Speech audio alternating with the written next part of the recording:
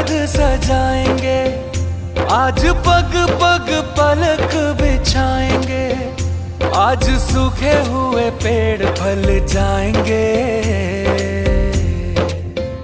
नैना भीगे भीगे जाए, कैसे खुशी छुपाए, राम आएँगे।